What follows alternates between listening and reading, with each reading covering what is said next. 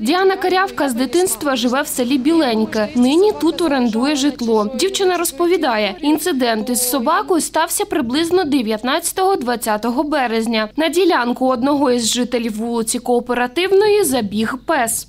Він схопив вила і почав гнати. Він схопив вило і почав гнати його вилами по городу, ударив вилами, я так зрозуміла під зад. І пес забіг у двір покинутої хати в будку. Чоловік продовжив в будці колоти вилами. Я не була свідком цієї події, але чули люди. Місцева жінка побачила, як він колов собаку вилами. Це наш сусід так вчинив.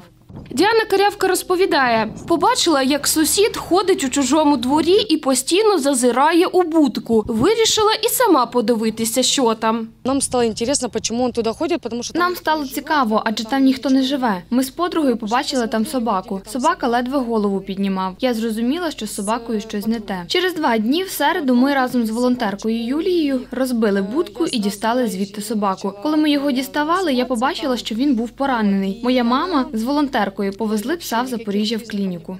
Пса з біленького доставили до однієї з ветеринарних клінік Запоріжжя. Там за ним доглядали лікарі та волонтерка служби захисту тварин Шанс Олена Пилова. Тиждень тому Гуфі попав до нас. В нього дуже були поколоті місця на морді.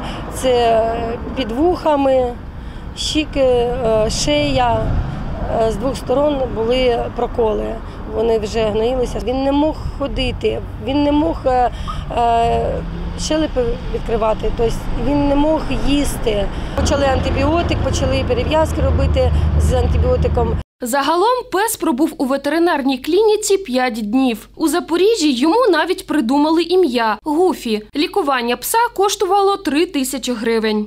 Частково допомагали е, люди, які його врятували в Біленькому. Е, Більша частина була зібрана через соцсеті. Коли Гуфі зміг нормально їсти та ходити, волонтери почали шукати йому домівку. Минулого тижня пес повернувся до села Біленьке. Його забрала до себе Діана Карявка. я к ній привикла і я вирішила її Я до нього звикла, і я його вирішила забрати до себе, адже його більше нікуди було забрати. І мені його дуже шкода, я його дуже люблю. Я вирішила забрати до себе. Вот проколы, вот они уже затягиваются, вот ды- две дырки. Вот они уже, правда, заживают потихонечку, плюс тут мазь. Лечим ее, перевязываем мазь. Лікуємо його, перев'язуємо, мазю мажемо. Він міцніше став і шерсть блищить. Іде на поправку. Віддати собаку я вже не можу. Він вже старенький, йому десь 12 років. У поліцію щодо інциденту із псом ніхто із жителів села не звертався, каже Діана Карявка.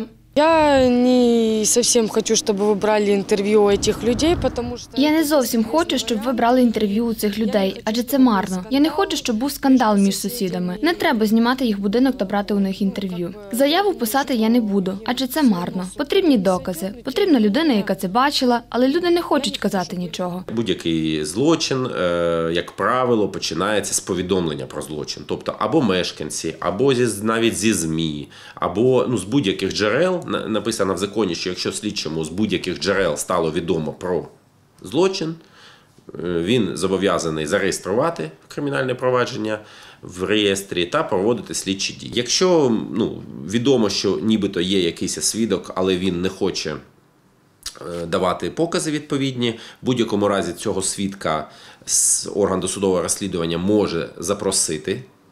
Надати покази, може е, повинен точніше повідомити такому свідку про відповідальність кримінальну за е, завідомо неправдиві відомості та за відмову від давання відмовос- е, показань. Якщо немає доказів, що цей свідок є свідок, скажімо так, що він щось бачив, він каже, нічого не бачив, ну дуже складно.